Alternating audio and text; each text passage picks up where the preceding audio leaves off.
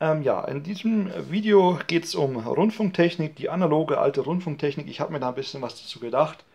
Schauen wir es uns doch mal an. Langwelle, Mittelwelle, Kurzwelle, Langwellensender wurden abgeschaltet, Mittelwellensender wurden abgeschaltet. Kurzwelle regt sich zwar in gewisser Weise wieder was durch das Anmieten von offiziellen Sendern durch Privatpersonen, ähm, aber im Großen und Ganzen, im Bilde der Öffentlichkeit, ist es so ein bisschen in der Versenkung verschwunden, könnte man sagen. Trotzdem ist ja die Rundfunktechnik an sich die analoge Radiotechnik ein interessantes Thema, ein interessantes Hobby. Ich vergleiche es immer gern mit den Modellbahnen. Es ist ein Hobby, wo man sehr viel Geld einstecken kann, wo man sehr viel Freude und Unterhaltung haben kann, auch Freunde finden kann. Aber das Problem ist halt bei der Modellbahn, man kann es vielleicht, vielleicht wurde es irgendwann mal angewandt, um ein Modell zu bauen für eine größere Bahn, aber es hat so gesehen wie die Rundfunktechnik, die analoge Technik, nicht mehr so viel Interesse oder Nutzen im öffentlichen Bereich. Nun ja, trotzdem existieren ja diverse Schaltungen vom Detektorempfänger über Audion bis hin zum modernen Superhead. Natürlich sind heute gerade mit DSP ausgestattet, aber die gute Sache an der Analogtechnik war das Superhead. Ähm, es hat die beste Empfangsleistung, es hat den größten Komfort zur Bedienung und dementsprechend wollte ich halt einfach mal ein bisschen was machen. Habe mir überlegt, wenn jemand mal das machen würde, dass einfach ein Workshop sozusagen entsteht oder einfach das Superhead mal behandelt werden soll, wie könnte man das machen?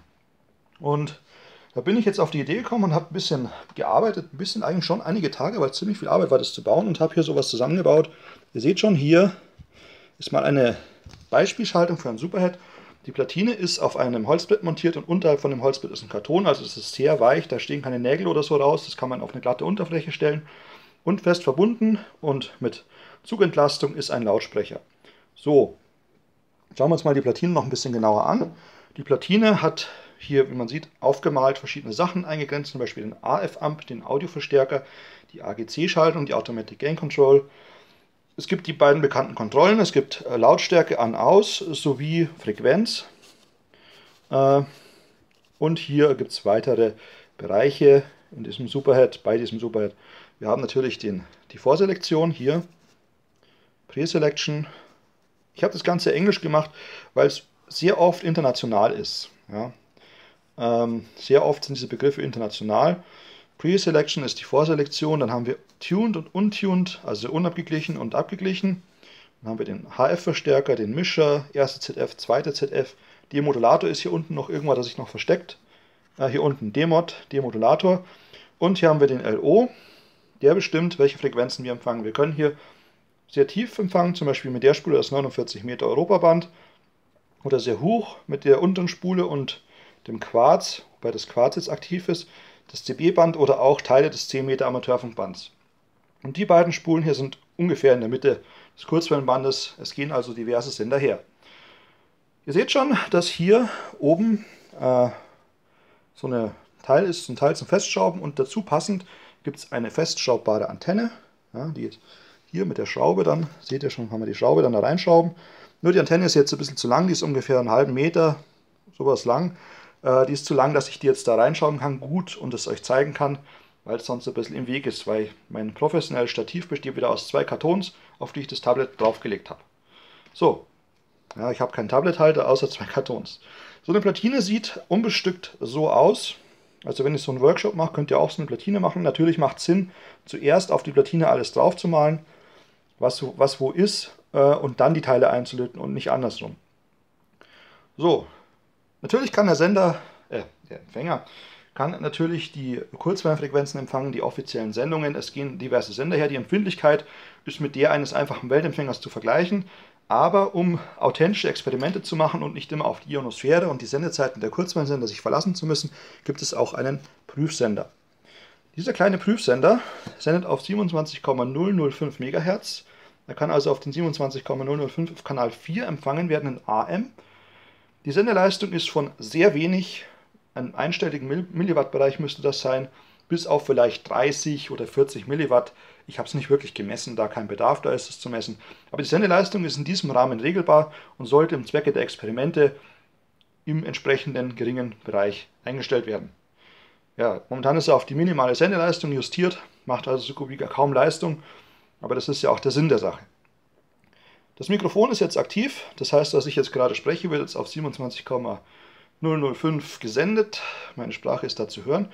Aber man kann auch eine äh, ja, Klinken, Stecker-Connection herstellen. Mit dieser Connection kann man dann einen Kassettenspieler zum Beispiel anschließen und dann Ton von einer Kassette übertragen.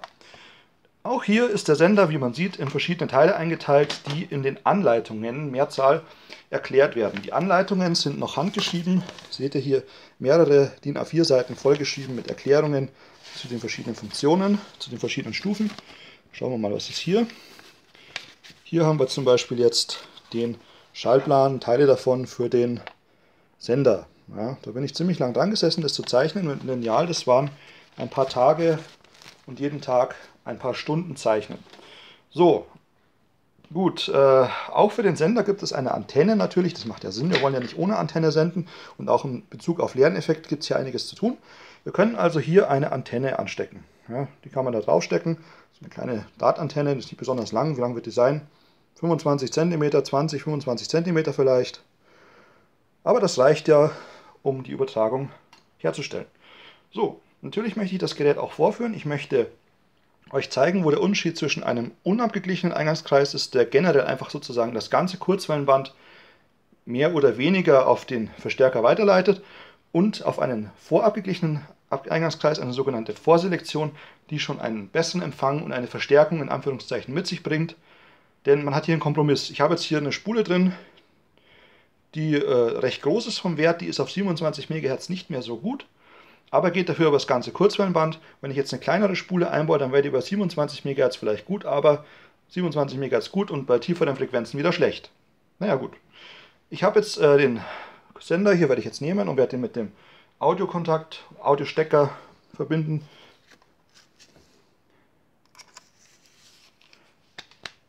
So, ich habe jetzt den Sender außerhalb der Kamera mit dem Walkman verbunden und dann muss ich natürlich die Antenne noch da machen an den Empfänger. Ganz ohne Antenne geht es zwar auch, aber nicht zum Vorführen. So, jetzt tue ich hier die Antenne, ich habe sie jetzt umgebogen, mal so reinhängen, hoffentlich hebt die, ja, die hebt.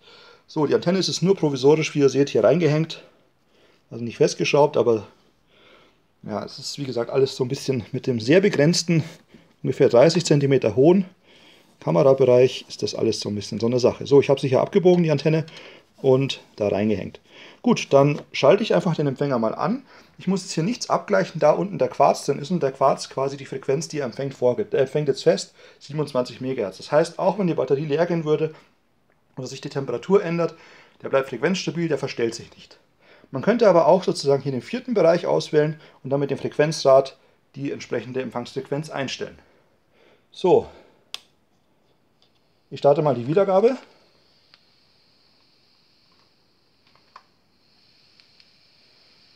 Ja, man hört da nichts. Wahrscheinlich ist die Kassette gerade zu Ende oder gerade am Anfang. Ich muss gucken. Ah, jetzt. Die Lautstärke war nicht aufgedreht. Also man hört jetzt schon leise die Musik.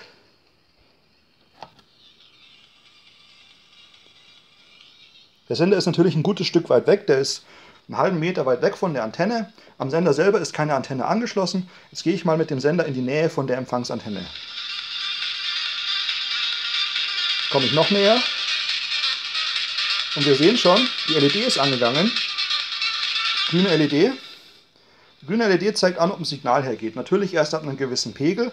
Und sie zeigt auch an, ob die AGC in die Schaltung eingreift. Ja. So, ich habe den Sender jetzt wieder äh, zur Seite gelegt, ungefähr einen halben Meter von dem ganzen Teil hier entfernt. Und was wir jetzt machen ist, jetzt tauschen wir mal den unabgeglichenen Vorkreis gegen einen resonanten Vorkreis aus. Der Vorkreis ist genau auf 27 MHz abgestimmt.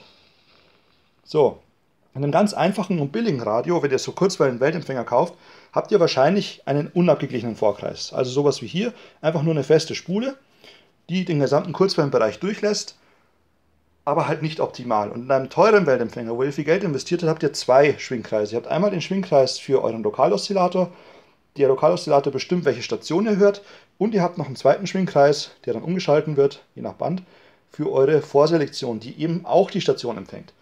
Und jetzt tausche ich mal die Jumper so, dass wir mal die aktive, in Anführungszeichen, aktiv ist sie ja nicht. Das ist ja eine passive, nur LC. Aber diese LC-Kombination, die erhöht jetzt quasi die Empfindlichkeit für die Frequenz von 27 MHz. Und ihr werdet gleich einen Unterschied merken. So, also ich habe das jetzt hier getauscht, wie ihr seht. Die obere Spule ist nicht mehr aktiv. Jetzt haben wir hier die Antenne an dem resonanten Vorkreis und ich schalte den Empfänger wieder ein. mal gucken. Ah, da ist an. Okay. So, und müsste eigentlich funktionieren. Jetzt ist wahrscheinlich irgendwas rausgesprungen. Ihr kennt ja den berühmten Vorführeffekt. Normalerweise, ich habe, das ist mein zweiter Take, im ersten Video war es jetzt so, dass der Empfang so gut war, dass die LED jetzt schon geleuchtet hat, obwohl der Sender gar nicht in der Nähe vom Empfänger ist und die Signalstärken halt wirklich sehr hoch waren. Aber hier hat wohl irgendwas, ein Wackler, vielleicht ist der Quarz ausgesprungen, ich weiß es nicht. Ihr kennt ja den berühmten... Ah, die Batterie hat einen Wackler. Okay. Die Batterie war nicht gescheit reingesteckt. Also der 9-Volt-Clip hier oben ist ja die Batterie. Hier, der 9-Volt-Clip war lose. Aber jetzt ist quasi voll aufgedreht. Ich muss mal ein bisschen leiser machen, das ist so laut. So. Jetzt hört man es gut. Also seht schon, obwohl der Sender gar nicht mal in der Nähe von dem Empfänger ist, der Sender liegt nach wie vor außerhalb des Bereiches, in Anführungszeichen, des Empfängers. Durch diese Vorselektion, ja, durch diese Vorselektion, ja, ja, äh, die Vorselektion hier holt enorm viel HF aus der Luft raus. Und ihr seht schon, die LED leuchtet, obwohl der Sender gar, am Sender ist keine Antenne angesteckt, der Sender ist nicht in der Nähe des Empfängers. Und trotzdem haben wir schon so ein starkes Signal. Jetzt kann man natürlich hergehen, das ist ja auch Teil des Lernens, Teil der vielen Seiten, da wird das alles erklärt und kann hier den Vorkreis abgleichen. Ja, ihr seht schon, wenn ich den Vorkreis hier verstelle, wenn ich hinkomme, so, Vorkreis verstellen, ich drehe hier am Schraubendreher, der Vorkreis ist verstellt, das geht nicht, Vorkreis abgleichen und wir haben hier einen starken Empfang, ein gutes Signal. So,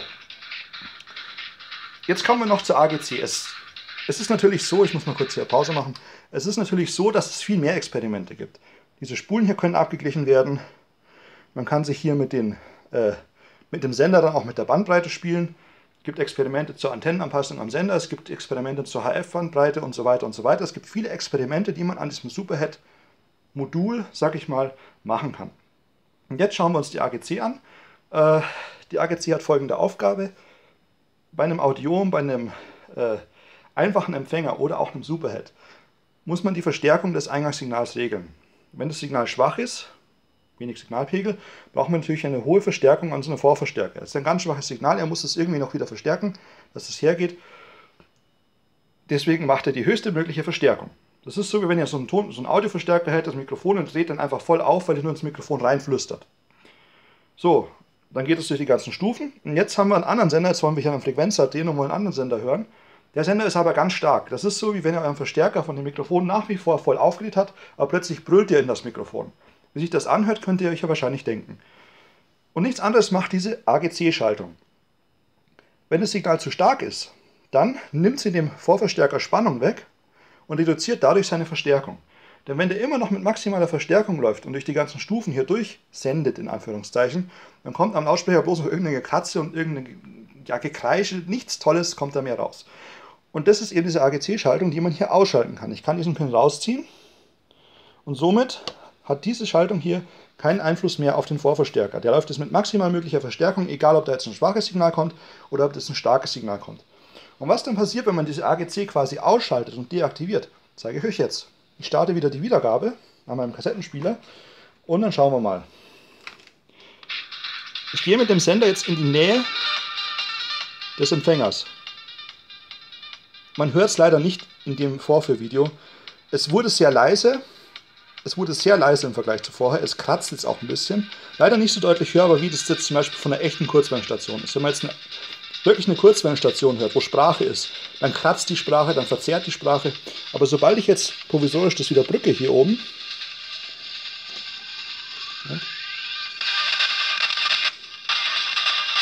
ja, es ist leider ein bisschen schlecht zum Vorführen. Leider schlecht zum Vorführen, aber man hört es vielleicht, dass sobald ich das Ganze wieder drücke, der Ton sehr laut und sehr klar wird. Ja, wie gesagt, man, man kann es am besten vorführen mit einer Off-Air-Station, die wirklich von der Luft, aus der Luft kommt die quasi wirklich gesendet wird. Da sieht man den Effekt am stärksten, weil dann wirklich, wenn eine Sprache da ist, das kratzt bloß noch, man hört es ganz leise, aber sobald man diesen Pin wieder reinsteckt, ist die Qualität wieder gut und wieder klar. So, ja, das war jetzt einfach eine Vorführung, wo ich mir ein paar Gedanken gemacht habe, wie könnte man quasi in Anführungszeichen einen Workshop machen zum Thema Superhead. Was könnte man da alles bauen, was könnte man da alles machen. Und das ist eine Version davon, wie man so ein Lernteil zu einem Superhead und zu einem kleinen Sender bauen könnte. So, allerbeste Grüße von Stefan.